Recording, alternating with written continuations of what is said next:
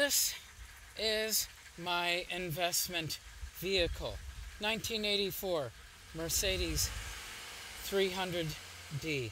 I'll do a repeat of that.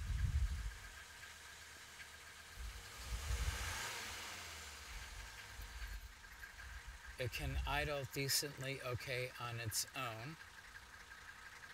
Underneath 10,000.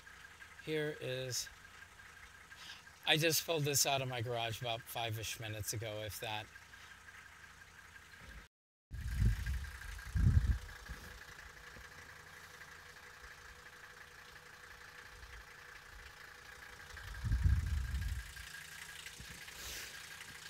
Nineteen eighty four Mercedes 300D.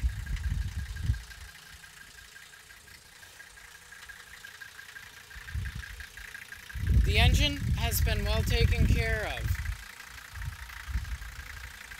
It does not look clean in my eyes, though others have said that to me unsolicited. So I suspect the engine is clean. The only thing new I have put in thus far is the battery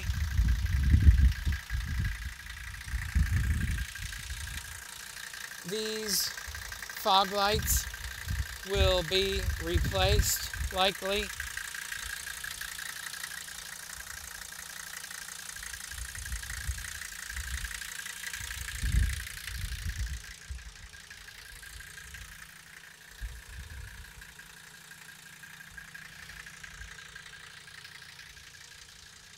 A little bit of uh, highly superficial body work does need to be done. Well, maybe not highly. There is rust that has been worked on underneath the uh, rear tires. I'll head back for a second shot. But with this car, the important thing, specifically, the motor, works. I have taken it out